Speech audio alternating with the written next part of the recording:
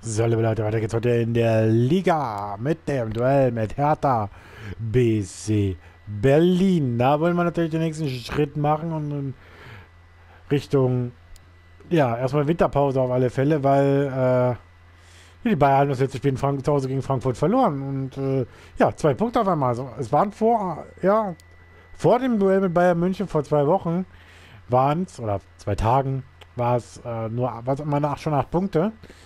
Und jetzt sind wir wieder so ein bisschen mit dabei, nach drei Siegen in Folge mit dem Pokal erreichen, weshalb Pokal-Viertelfinale ist. Und äh, ja, jetzt kommt es Schlag auf Schlag, nämlich Hertha ist der Gegner und danach geht es schon weiter mit dem Duell mit dem SC Freiburg. Also es geht jetzt hinter, hin und her ähm, die nächsten Spiele. Wie gesagt, das ist jetzt noch Berlin und dann Freiburg und dann ist schon Winterpause. Und dann können wir mal gucken, weil wir vielleicht sogar noch einen Spieler verpflichtet bekommen. Wir werden in die Winterpause reingehen und dann die Folge, übernächste Folge tatsächlich wird dann wieder bedeuten, hey, man könnte ja wieder ein bisschen was an Jungs verpflichten. Mal gucken, was dann passiert. Zumindest. Uh, Tor. Der war da drin.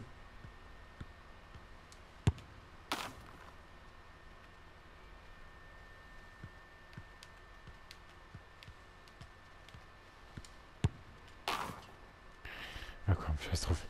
Weiter, komm. Wir gehen rein ins Spiel. Es könnte ein absolutes Klasse-Spiel werden. Zwei Teams, die alles geben werden. Zwei Teams, die heute gewinnen wollen. In ein paar Minuten geht's los mit Schalke 04 gegen Hertha BSC.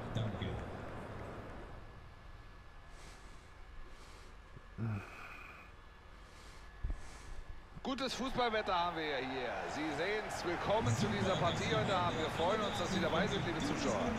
Am Mikrofon sind natürlich auch heute wieder Wolfuß und der Kollege Frank Buschmann. Und wir genau so ist es. auf ein Spiel in der Bundesliga. Schalke 04 gegen Hertha BSC. Wichtige Ligapartie für beide Seiten. Wolf, beide wollen heute überzeugen, wollen Bestleistung abrufen. Ja, wie gesagt, weil ja Bär gewonnen hat. Ich weiß gar nicht, ich habe gerade nicht geguckt, oben, wer die, wie die Bayern gespielt haben. Wurde in den letzten Tagen viel über ihn geredet. Denn er muss heute zum ersten Mal gegen sein früheres Team ran. Ganz einfach ist das nicht. Ja, Piontek. Nein, die Frage ist ja immer, kann er dann auch in so einem Spiel seine gewohnte Leistung bringen oder lenkt ihn das Oh, schönes Ding, Richter, der auch wieder anfängt schon wieder Betrieb zu machen da aus. Marco Richter. Das ist ein Profi, abgerühmter Spieler, dem macht das nichts aus. Glück gehabt. Heute Leistung bringt. Ja, das war ganz, ganz wichtig, der Berliner, dass sie dazwischen gegangen sind, dass sie da reingekommen sind. Und dann ist es Kolasinac, der ist auch noch sowas von sauber wegmacht. Wegverteidigt da hinten. Und dann ist es schon jetzt das 1-0. Tor Nummer 7. Und wieder ein Konter. Hertha will nach vorne spielen. Kolasinac schenkt das Ding ab, spielt den Ball raus zum Richter. Der legt den Ball auf Alario. Ne, Alario? Buschlab ist es gerade nicht. Alario. Und dann Da 1 kommt zu 0. dieses Tor nochmal. Zuerst der Ball nach hinten und dann trifft er die Kugel super aus der Halbdistanz mit ganz viel Gefühl. Da ist Effet drin und der Ball dreht sich in den Kasten. So, da ist schon mal der erste Schritt gemacht. Das nächste Spiel 21 Saisontor uns mittlerweile schon. Also der trifft gerade wie er will. Packt er die 40 Saisontore? Naja, mal gucken. Wir werden sehen. Ist ja noch ein bisschen hin. Ist ja jetzt auch mal der 16. Spieltag. Eduard Löwen. Sie verlieren den Ball. Ja, gut gemacht, Herr Lario. Das war ganz, ganz wichtig, dass der, der verteidigt hat, der Berliner da.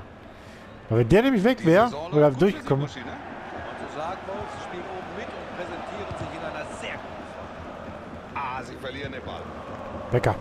In der Bayer Arena hat sich was getan. Es ist ein Tor gefallen. Wir gehen kurz rüber ins. Das wird dann nachträglich noch mal Geld geben.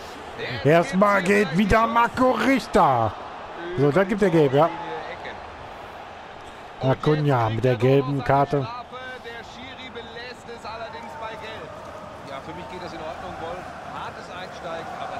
Ja. Gretchen Becker da weg und äh, dann geht er durch. Und dann Jetzt die Ecke.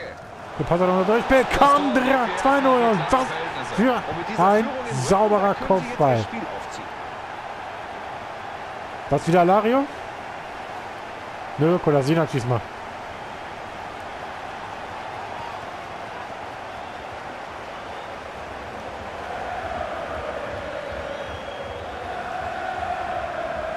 Ja, mal gucken, wie viel weit es geht ne, in der Saison.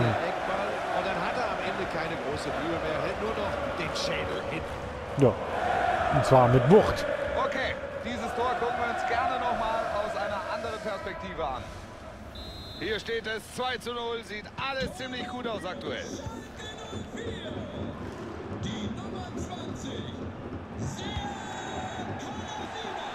Toussaint. Matthäus Cunha.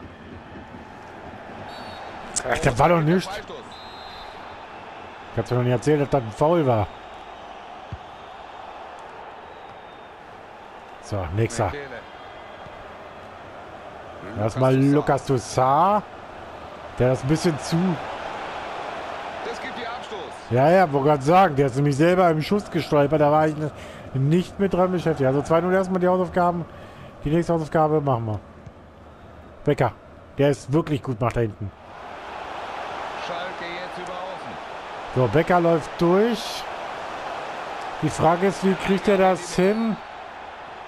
Ah, er hat schon gelb. Gibt das den Platzverweis? Und es kann sein, dass Bertha jetzt nach der Minute 25 mit Gelb-Rot einen vom Platz fliegt. Und das ist genau richtig. Hakunia tritt erneut Becker weg. Und damit ist es auf 25 Minuten Gelb-Rot. Ja, aber die würden uns Freischuss geben und kein Elfmeter, bevor diese Diskussion jetzt aufkommt. Ja, es ist Gelb-Rot und ähm, das ist genau die richtige Entscheidung.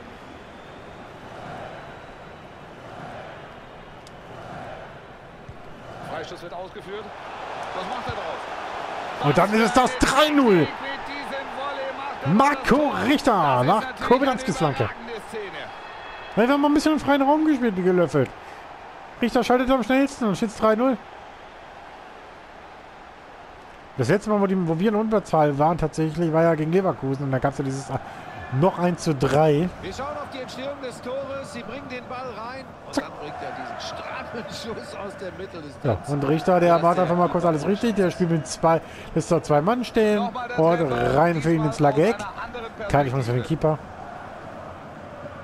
Mit dem Keeper von, den, äh, von Hertha habe ich ja auch verpflichtet.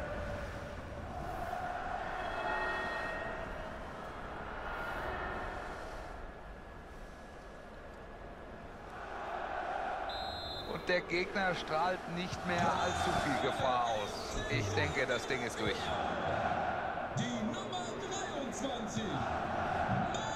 Eduard Löwen. Also schon mal eine Hausnummer. Auf jeden Fall wieder drei. Ja, schade. Also wieder zwei gelbe Karten mittlerweile für die Berliner. Zweimal für denselben Mann. Martrago für Gelb-Rot. Und nach, 5, nach gut 31 Minuten, die momentan gespielt sind. Immer noch gefährlich. Oh, Und dann gibt es einen Elfmeter für die Hertha. Und das ist Timo Becker. Der eigentlich so, so gut gelobt war. Und so war dies- keine Karte. selten, So, trifft jetzt der Herthaner gegen seinen Ex-Club. So. Kakazaba ins lange, ins obere Eck. Keine Chance, Schwolo. Der sich für links entschieden hat, Kunja. Ja, wie gesagt. 1 zu 3 nur noch. Wir schauen noch mal auf die Wieder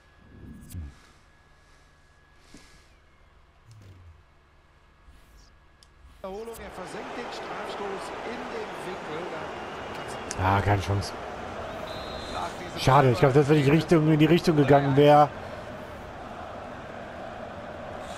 Wäre es nicht drin gewesen. Egal. 1 zu 3, wie gesagt, der Treffer und wieder ist es Marco Richter, der einfach mal durchmarschiert. Richter! Mein Gott, 4-1, 35. hier. Die Hertha kriegt ihre rechte Seite nicht dicht. Immer wieder kommt einer da außen durch. Wir schauen uns die Wiederholung nochmal an. Erst zieht er an seinem Mann vorbei. Da ist er einfach Lässt wieder zwei Mann stehen, einfach mal durchmarschieren vom Start weg. Und dann haut er das Ding hinten ins lange Eck und äh, ja, 4-1, Haltabstand wieder hergestellt. Ganz entspannte Minen auch am Spielfeldrand. Die deutliche Führung. Er weiß, das müsste es in dieser Partie eigentlich sein. Das ist jetzt natürlich schon ein bisschen einseitig hier. So ein Vorsprung bereits in der ersten Hälfte, mein lieber Mann. Ja, mal gucken, was die zweite Halbzeit noch bringt. Diese 4-1 steht, zur- steht zur Pause. Ja, wir haben hier das erste Tor für Bayern München. Neuer Spielstand damit 1 zu 0. 36 Minuten sind Oh, die. Bayern führen. Dann ist es tatsächlich die Bayern gewesen, aber nur jetzt Borussia Dortmund, die da ihre Tor vorgelegt haben.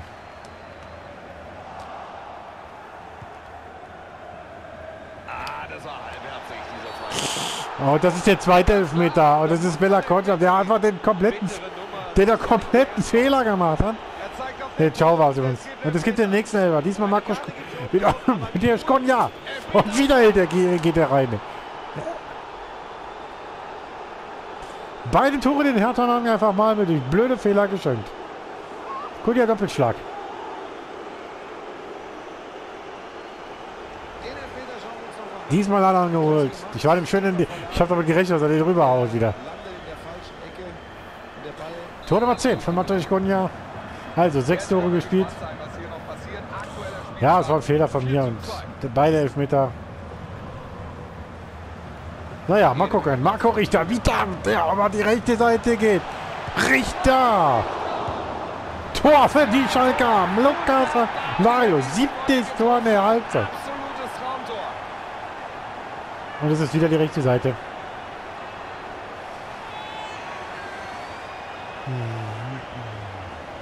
So, wir sehen da nochmal die misslungene Parade. Weil die ist Ausgangspunkt äh, für diesen Treffer. Und da sind sie dann einfach schneller. Dann ist die Chance da, da ist die Lücke und dann fällt das Tor.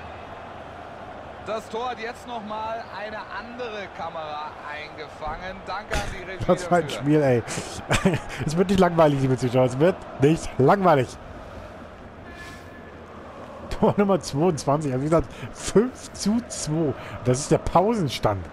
Ich glaube, es war, hatte ich schon mal irgendwo gespielt. Ich glaube, Paderborn war das. aktuelle Stand hier lautet 5-2. Zwei Elfmeter für den Gegner. Also, wie gesagt, mal gucken, was noch, mal gucken, was noch passiert.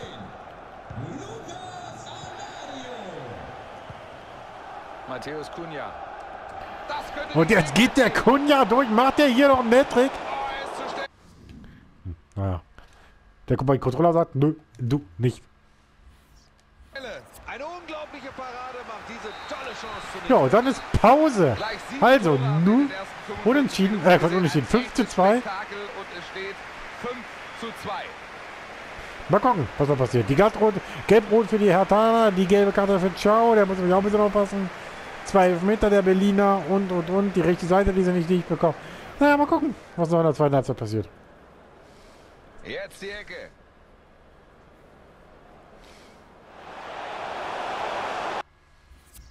So, kurz mal auf die Zwischenstände. Die Bayern führte man sein soll. Leverkusen führt gegen jetzt die Freiburg. Apropos Freiburg, das ist unser nächster Gegner. Und jetzt werde ich den Wechsel hinten ziehen, weil bevor mir der Ciao mit Gelb-Rot vom Platz fliegt, bei dem Spiel ist nämlich alles möglich, mache ich das einfach mal kurz so. Die Hertha mit dem Anstoß. Wir gehen rein in die zweite Hälfte. Ja, damit ist wie gesagt Halbzeit 2 läuft. Mal gucken, was hier noch passiert. Del Rosso. Es tut sich was. Glück gehabt. Für die. Hertha, dass das hier nicht ernst wird noch. Ja, ja, das ist aber noch ein bisschen was passiert. 2 zu 0. Gespielt sind hier 49 Minuten. Danke vielmals für dieses. Ja, den ersten kriegen sie zumindest verteidigt. Macht der BVB jetzt ernst? Es soll ein Angebot vorliegen. Sie wollen sich verstärken. Wie bei solchen Nachrichten übrig, sollten wir erst einmal schauen, wie viel Wahrheit steckt. Ja, Ballverlust. der kommt nicht durch. Seine Zuspiele sind heute sehr genau. Abseits, Abseits, Schiri, komm, Abseits. Ne, war kein Abseits. Szene geht weiter. Tor für die Hertha. 3 zu 5 nur noch. Tor.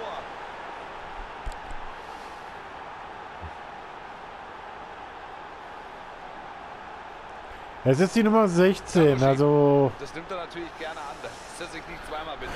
Nee, mit viel, viel Duse, weil der Abpraller von Schwolo, welches Gewinn wurde übrigens, Eine Ähm, weil der Abpraller von Schwolo tatsächlich bei ihm wieder landet und naja, mal gucken. Zweite Halbzeit läuft auf jeden Fall mit dem ersten Tor für die Hertha. Gute Flanke. Schaut sich um, wo ist vielleicht die Lücke. Fuck you, ey. Ja, ich muss mal ein bisschen nochmal neu starten. Ja, ich muss ja wie gesagt noch einen Controller kaufen. Und das versaut sie mir gerade mit der Aktion. Und wir freuen uns auf die. Bundesliga-Begegnung für Schalke. Dann geht es auswärts gegen den SC Freiburg. Ja, wie gesagt, Freiburg ist der nächste Gegner. Jetzt müssen wir erstmal Berlin überstehen. Weil das war eigentlich anders. Also hatte ich eigentlich ein bisschen anders gedacht. Könnte gefährlich werden. Da geht er weit am Tor vorbei. Selke.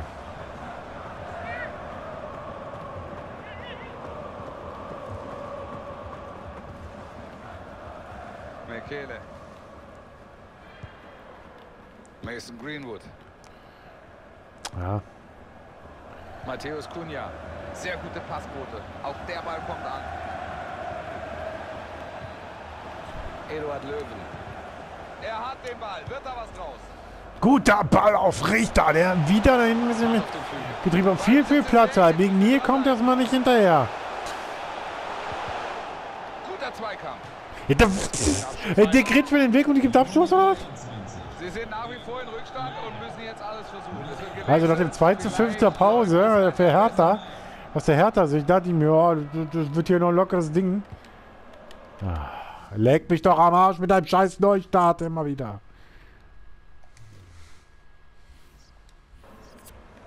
Matthäus Cunha. Da haben wir also den kommenden Gegner von Hertha BSC.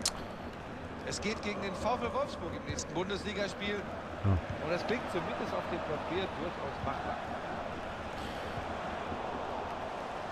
Er ist frei, der kann was Jetzt haben wir mal ein bisschen. Vorne der Ball. Ich kriege aber jetzt gerade auch in der zweiten Halbzeit nicht wirklich den Zugriff mehr, den ich in der ersten Halbzeit so bekommen habe. Jetzt mal, der Ozon vielleicht. Klar sind sie hier vorne. Kurz vor Spielende. Es sieht alles richtig gut aus. Deine Einschätzung? Ganz stark gemacht. Das gibt eine gute Gelegenheit.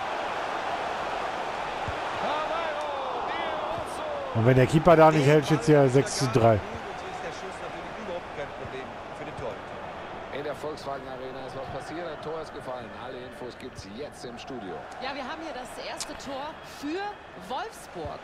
Der neue Spielstand lautet damit Hab also dich. 2 zu 1. Gespielt sind 82 Minuten. Interessante Info. Dankeschön dafür. Und das ist der Ball. Ich kriege aber jetzt echt keinen Zugriff. Die kommen 5 zu immer 3 wieder. Ja, das ist das Problem. In der zweiten Halbzeit ist nicht mehr wirklich viel passiert. Der kommende Gegner der Schalker heißt SC Freiburg.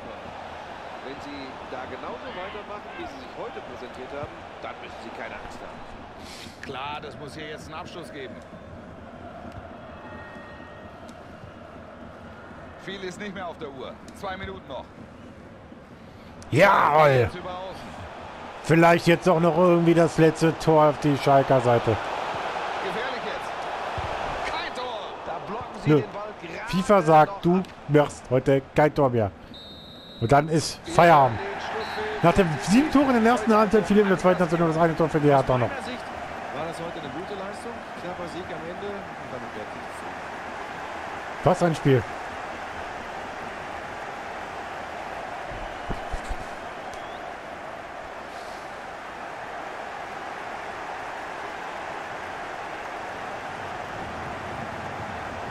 Ja, ich habe in der zweiten Halbzeit nicht mehr, nichts mehr auf die Reihe gekriegt, wirklich. Also immer wieder weg, weg, weg, weg, weg, die ganze Zeit. Also und wirklich kommt noch Power da vorne durchzukommen. Ja gut, ist halt jetzt passiert, aber Leverkusen auch noch unentschieden. Okay. Naja. Ärgert mich gerade so ein bisschen, dass wir in der zweiten Halbzeit nicht mehr viel auf die Reihe bekommen. Naja, wie gesagt, nächstes Spiel heißt dann SC Freiburg. Und dann geht es zumindest Richtung Herzmeisterschaft. Dortmund, Bayern oder wir. Mal gucken. Wir sehen uns wieder.